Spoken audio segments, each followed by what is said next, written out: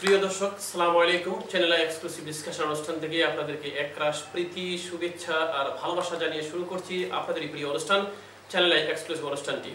আজকে আমাদের অতিথি হয়ে এসেছেন ব্রিটিশ পার্লামেন্টের অত্যন্ত জনপ্রিয় এবং প্রভাবশালী সদস্য কনজারভেটিভ দলের মেম্বার একই সাথে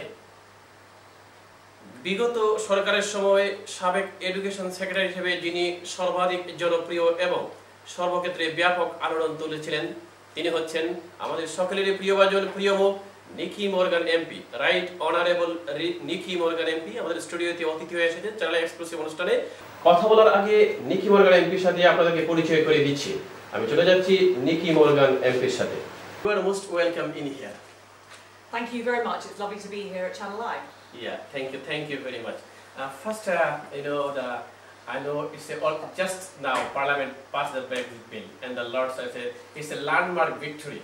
People are thinking that might be something happening here. Maybe a Lord, uh, Lords and uh, House comes maybe con- something conflict about the Brexit bill, but at the end, that's a landmark victory. We see, see saw the, um, in the television and the media as well. So I just want to know the what do you think about the, the bill just passed? You're right, it's a landmark moment for the uh, bill to have been passed in the British Parliament. And what this means is the Prime Minister now has the ability to say to the rest of the EU, I'm going to give you notice that the UK is going to leave and we're going to start the negotiations about how we are going to leave. So I suppose it's the first thing that implements the result of the referendum last year. And the fact that the uh, House of Commons and the House of Lords overwhelmingly supported the bill, despite what some people were worried about, uh, is an important moment. There are things that people would have liked to have seen in the bill, and they Yeah. will now be obviously covered uh, in the negotiations, and Parliament will remain, members of Parliament like me will remain very involved in this process. Yeah, uh, that's uh, you just mentioned about that that uh, you uh, passed the bill that's a landmark victory. But I just want to know what is the party view on undocumented resident post Brexit? Because you know the uh, Boris Johnson, the, the mayor, while he was the mayor of London, and he said during the Brexit, said he is in favor of an earned amnesty for all undocumented residents. What is the view of the government and the Tory party? Well, obviously, I'm not a government minister anymore, um, Yes. but um, I think we're going to have a new immigration bill as a result of leaving the European Union.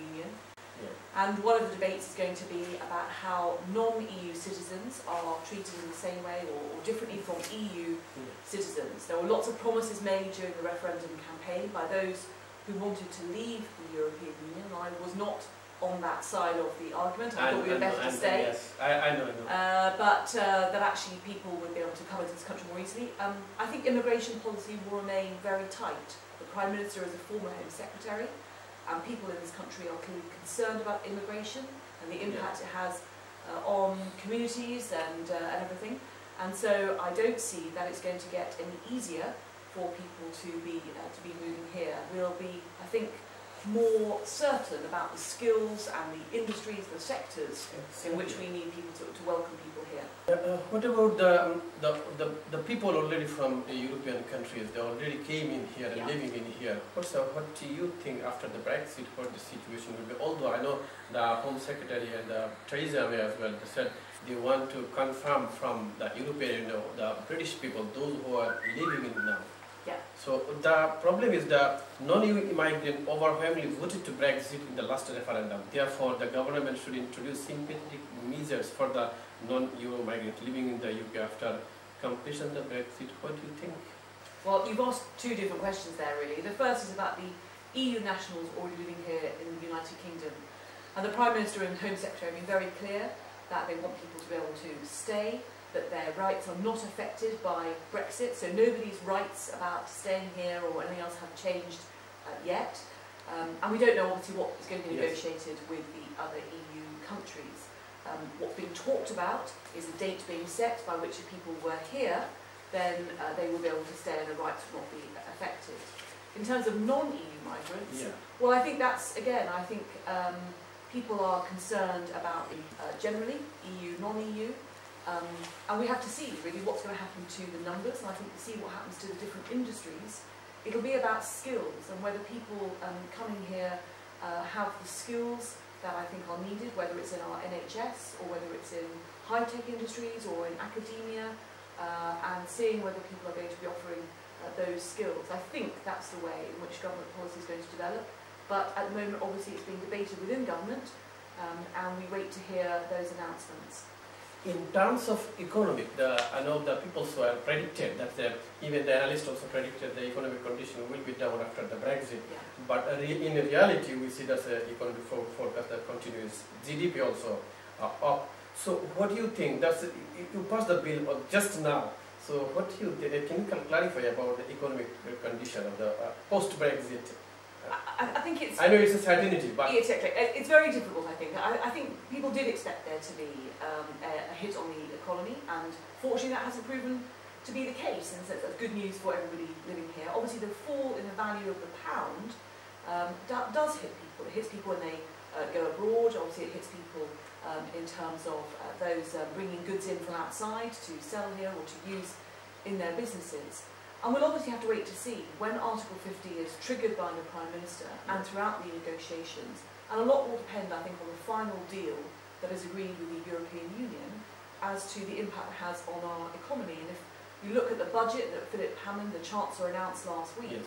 in terms of the longer term figures about how the economy is going to perform, figures from what we call the Office of Budget Responsibility, they still say that over the medium and longer term it's very difficult to predict Yeah. what Brexit is going to mean for the economy. So I think we are in for more uncertainty, uh, certainly. What Brexit stand for?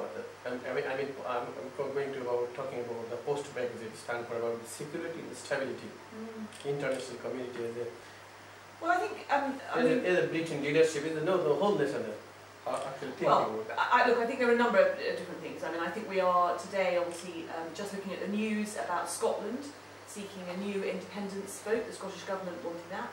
There are some very different issues to be discussed about Ireland, the, the, the, um, between the Northern Ireland and the Republic of Ireland in terms of the border.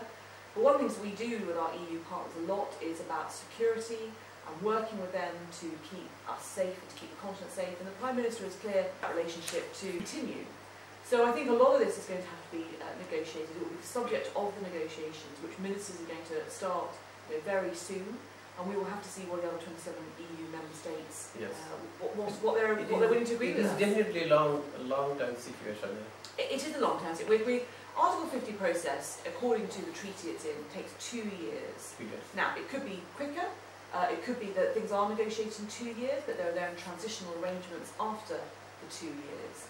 But, uh, but at this stage, as I said, start Yeah. negotiations, it's I heard in some analyst last night that say May could be triggered in this week. So well, Downing Street say triggering by the end of the month, so that's, I think, what we can expect. So that's the that's the time scale. That's the start of the Yeah. process, yeah. So it's an, after the after the trigger, it's to take about uh, could be long time for negotiation. Well, the, the process in the treaty is two years. So um, I think that, uh, and also there have to be approvals by the European Parliament. One of the things we were debating yesterday was approvals by So- the UK so- Parliament.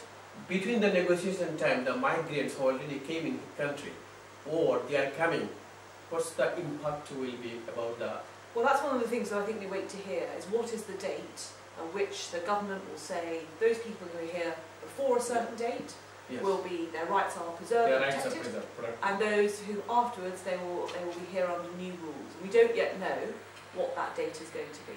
Uh, we are actually I'm back in education. The, the, you were in the education secretary. Yeah. the last government. So uh, you, uh, that's the in the past the children from the ethnic minority background are still under performance. What positive measures do you think the government should take to tackle the underperformance? Well, I think uh, you're absolutely right. The government I'm talking about the ethnic minority. I know that. Well, I think it's I think it's everyone, doesn't it? Because I think Yes. we want everybody to, to do Okay. well. And I think when I go to schools like Mulberry, you know, here in East London, I can see a brilliant school for girls, um, which is doing fantastically well. So it's it's perfectly possible for everybody to achieve well. I think um, the government absolutely needs to focus on those areas of underperformance. And actually, what we see is there are some children from ethnic minorities who are doing better Yeah. than white British children, particularly white British boys.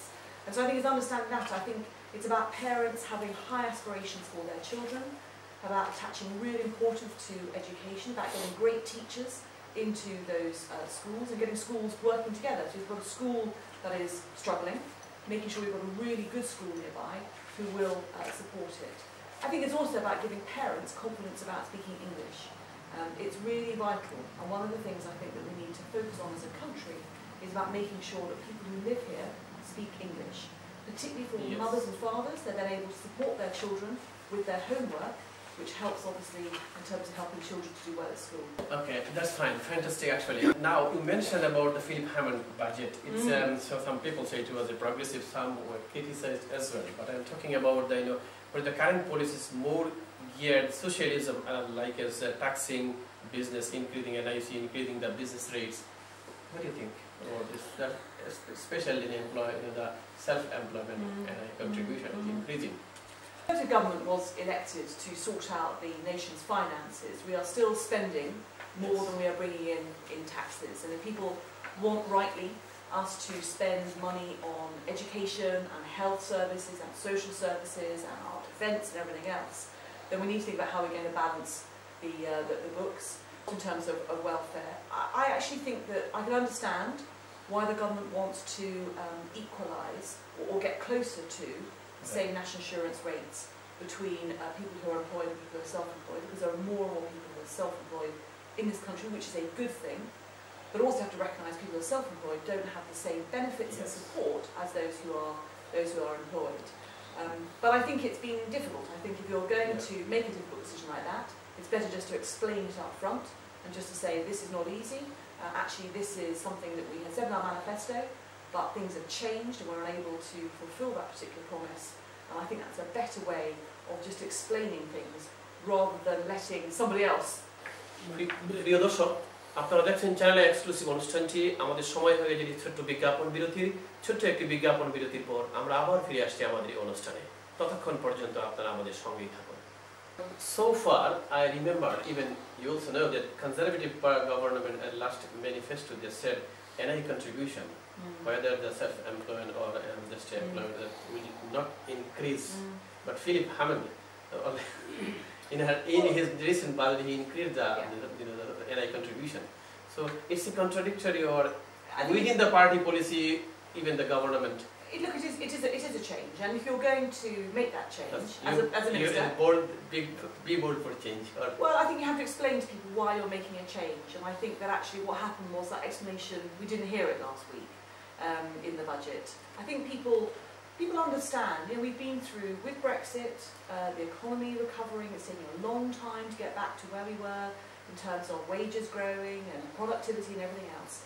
I think if you explain to people why you need to make a change, why actually you said one thing in a manifesto, but it's not possible to fulfil that, then I think that's better than actually just either not making the, the, the change you feel it needs to be made for your finances or trying somehow to uh, not explain it. Um, and, uh, and that's why I think uh, if Philip Hammond, as the Chancellor, decides, the Prime Minister, this is a, a new policy that needs to be introduced, then actually it's better just to, as I say, just to explain it uh, and to accept that actually uh, that doesn't fulfil the spirit of what we said in the uh, manifesto. Um, but there are reasons for, for doing that. One of them is a very good reason, which is that more people are now getting self-employed, which means actually that we are uh, not raising the taxes that are expected, which we need to fund our essential public services. back to again Brexit bill, you know, they just passed the Brexit bill from the House of Lords That's a landmark victory, people said, and even the analyst also commented. But uh, Nick Clegg, the deputy, former deputy prime minister, he criticized the, um, the, the in the terms of uh, EU nationals' right to stay in here. Uh, how do you define about these terms of condition or the EU national right to stay here? How you protect it? If if it's not going on well. If the negotiations are not Yeah. going well. Well, I think there are um, things that will obviously will be negotiated, and the Prime Minister has given us assurance about wanting to negotiate early or discuss early with the EU partners about giving EU citizens living here in the UK absolute the right to, to be here, and the same with British nationals living in other EU member states. Now, there are people um, uh, who have said, well, actually, the, the government should give a unilateral undertaking now. And in fact, last summer, I said that we should confirm right now that those EU nationals living in this country have nothing to fear and should stay. But the government has taken the decision that they couldn't or wouldn't do that.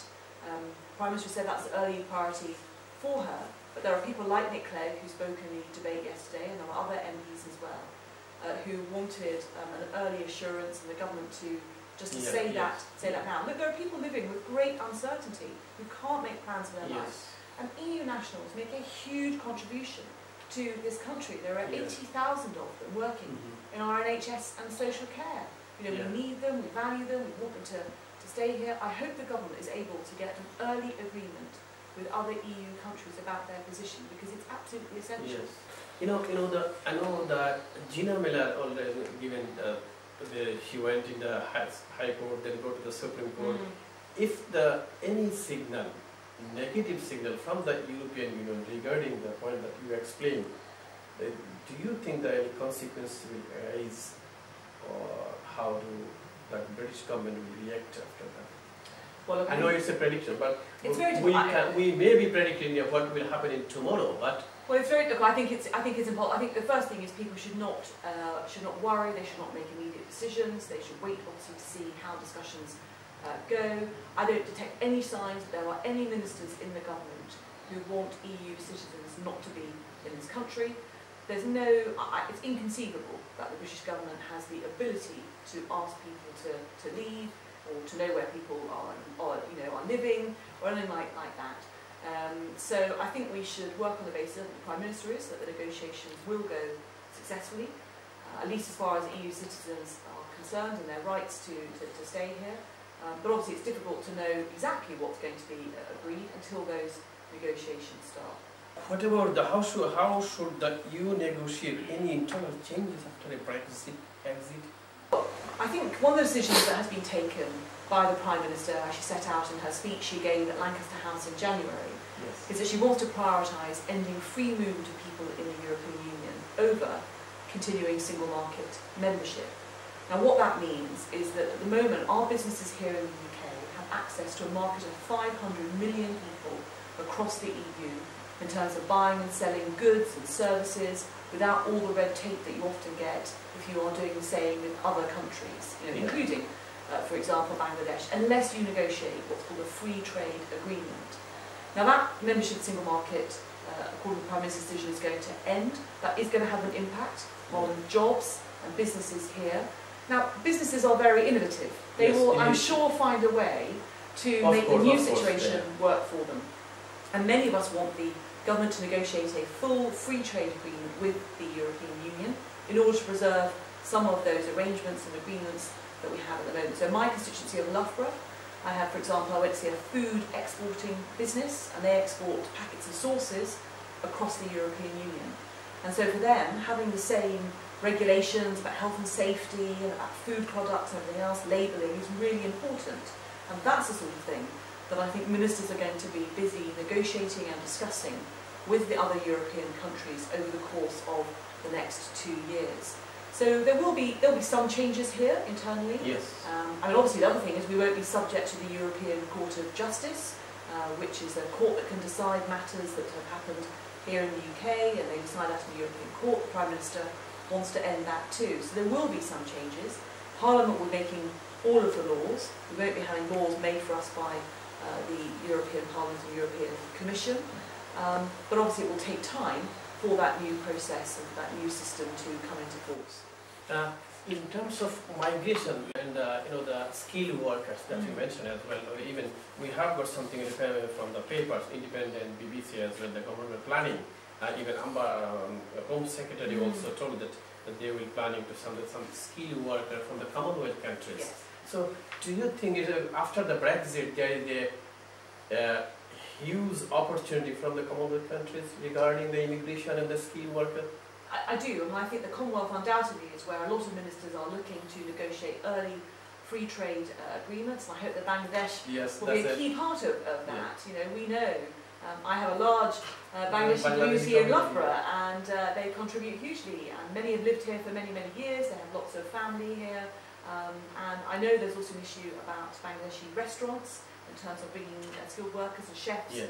Over uh, as well. So I think there They are actually opportunities. enormously struggling about the skilled worker. So I think there are definitely opportunities. Um, and uh, ministers and Liam Fox and others have been talking about the Commonwealth. So, uh, but obviously, um, that's a part of you know, where we recruit people from, where we do trade with. There are lots of other countries around the world, and uh, this is an opportunity for businesses to uh, to go out and speak to all of them. Yes, yes. There, there is some uh, report uh, from Guardian, Independent, Telegraph, even the CNN and the Sky as well, that uh, after the Brexit, maybe Europe maybe introduce some US-style visa. That's uh, they will do maybe or from the online they will travel to EU. Within the 27 countries, you need a uh, online application for the, your pass permit. Is that will be applied for British people as well, or do you think? Because if we have a British passport now, oh, I can go to the travel anywhere within the 27 countries. But after the Brexit, what?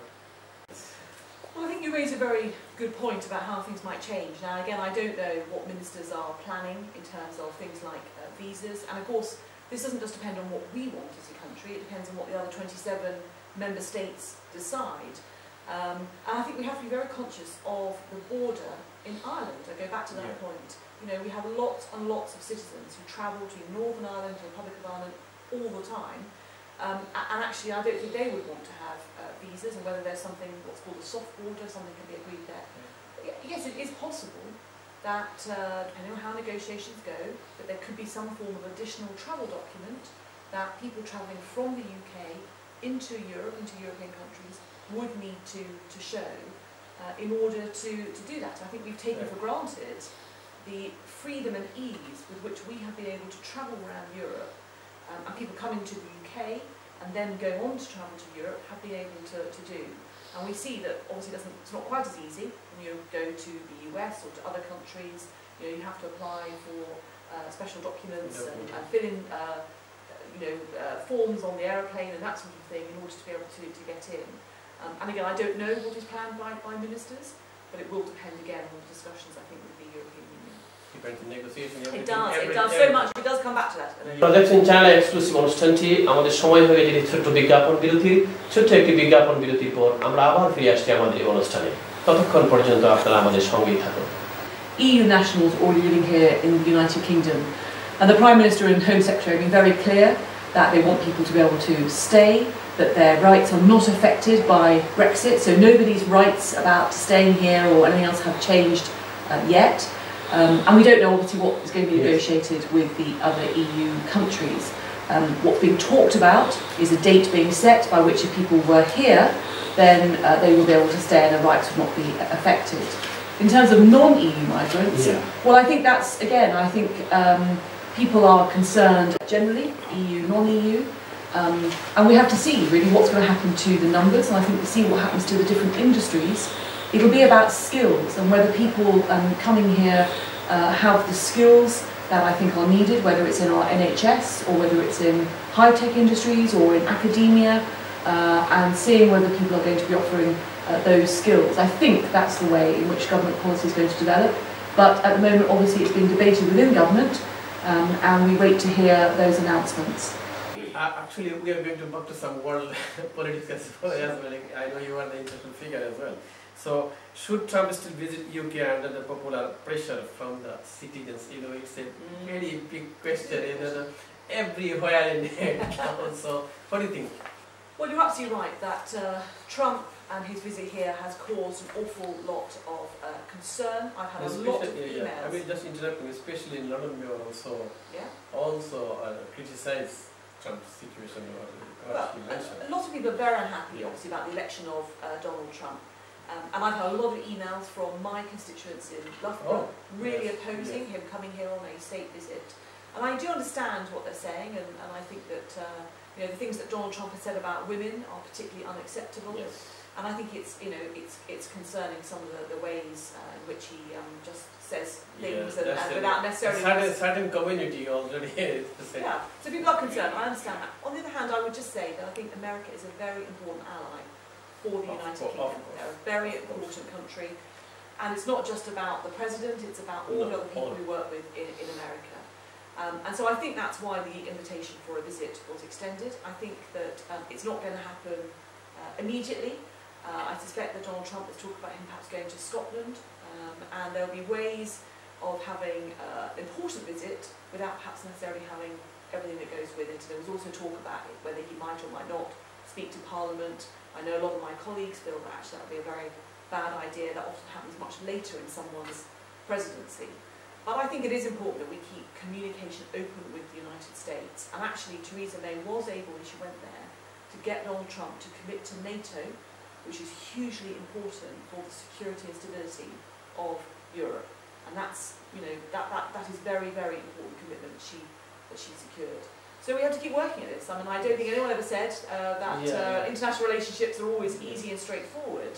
Uh, but, uh, but I think that uh, having that relationship with the US is important for us as the United Kingdom. us, yes. And I think it's important Exactly. for other countries as well. We do have a good relationship. We're going to have a new immigration bill as a result of leaving the European Union.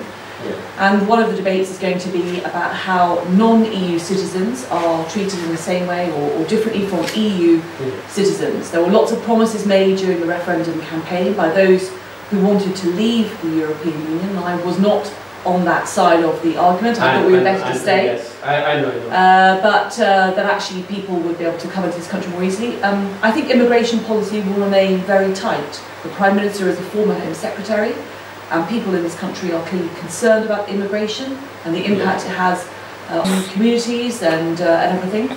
And so I don't see that it's going to get any easier for people to be, uh, to be moving here. We'll be, I think, more certain about the skills and the industries, the sectors in which we need people to, to welcome people here. the condition of the uh, post-Brexit.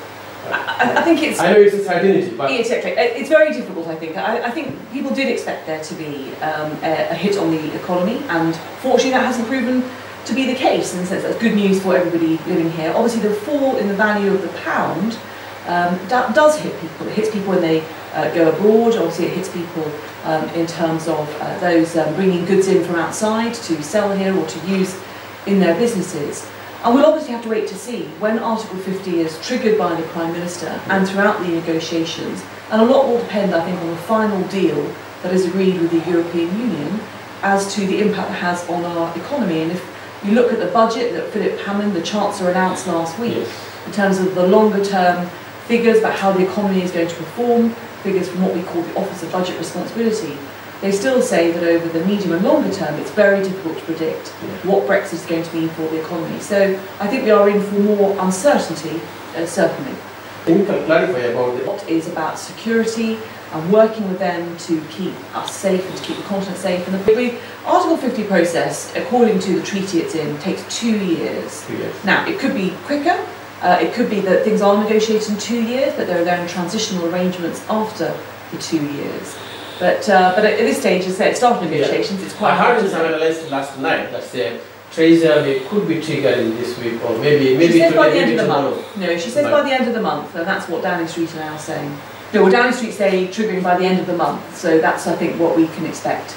So that's uh, that's the time scale. That's the start of the Yeah. process, yeah. Support Philip Hammond's design. But- One of the things that I think we wait to hear is what is the date at which the government will say those people who are here before a certain date Yes. will be, their rights are preserved and protected, correct. and those who afterwards they will, they will be here under new rules. We don't yet know what that date is going to be. Right, it depends on the European Union. It does, How I think it does. in Bali he increased the Yeah. contribution.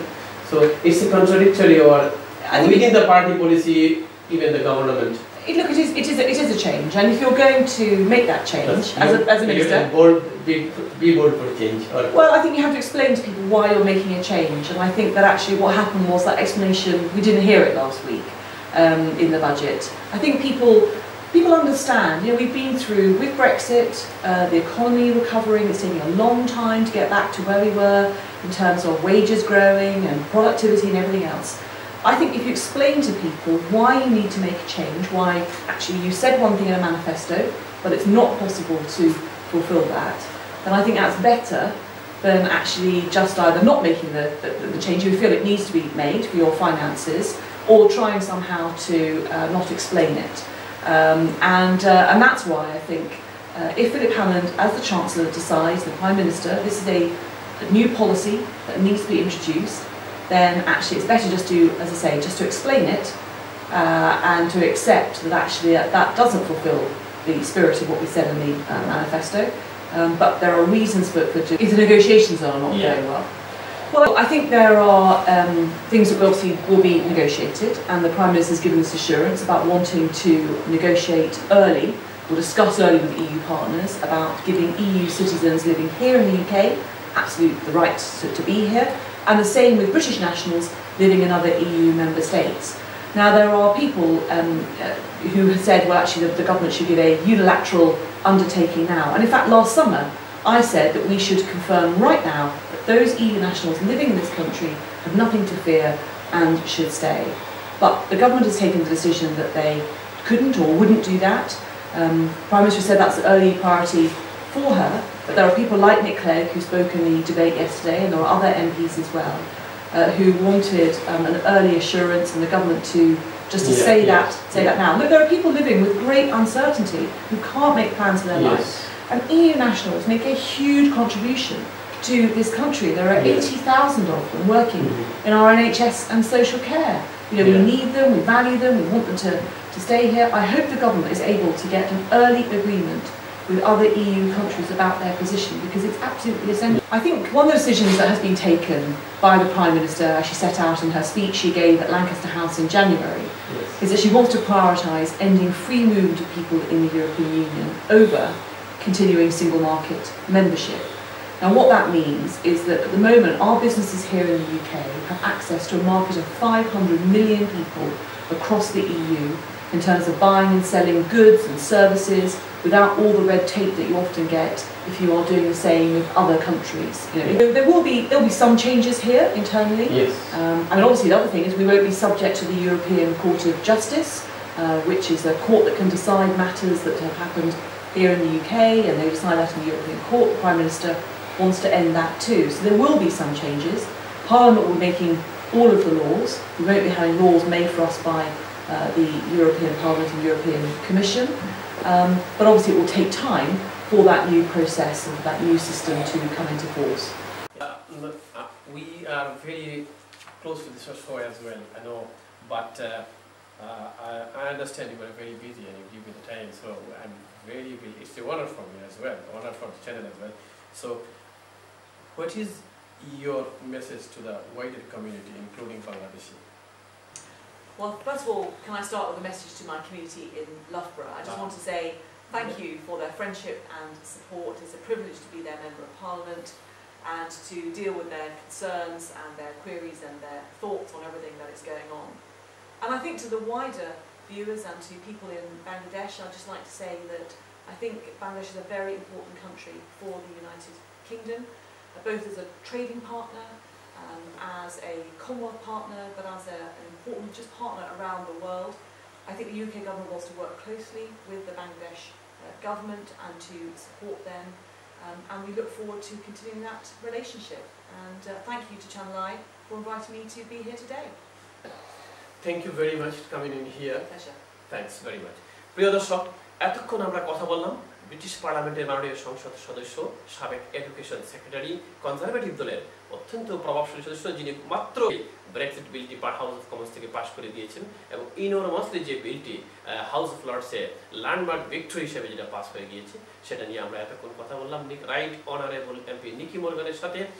আমরা এই জায়গায় বসে শুধু এখন যা ঘটছে, সেটাকে আমরা বলতে পারি এবং প্রত্যাশা, সম্ভাবনা প্রেডিকশনটা আমরা করতে পারি। আগামীকালকে কি হবে? সারা ব্রিটেন জুড়ে এবং সারা বিশ্ব থেকে যে বিষয়টি নিয়ে তুলপাড় চলছে, সবাই যেখানে উদ্বিগ্ন, উৎকণ্ঠা হয়ে গেছে। ইমিগ্রেশন কি হচ্ছে? ব্রিটেনে যারা আছেন, ইউরোপ থেকে যারা আসছেন, কিংবা ব্রিটেনের যেসব নাগরিক ইউরোপে রয়েছেন, তাদের অবস্থান কি হবে? যে নেগোসিয়েশনের কথাটি বলা হচ্ছে দুই বছর পর্যন্ত, সেই নেগোসিয়েশনের পর্যায়ে যদি সত্যি সত্যি কঠিন পর্যায়ে চলে যায়, তখন কি হবে? এইসব নিয়ে আমরা কথা বললাম, শুনলেন কথাগুলো নিকি মর্গান এমপির সাথে, তাকে আমরা জানাচ্ছি ধন্যবাদ আমাদের পক্ষ থেকে। আর আপনারা যারা এতক্ষণ আমাদের অনুষ্ঠানটি দেখলেন, আপনাদের সকলকে আবারও প্রীতি, শুভেচ্ছা ভালোবাসা এবং আপনাদের আগামী জীবনটি সুন্দর এবং সার্থকভাবে গড়ে উঠুক এই প্রত্যাশায়। খোদা হাফেজ।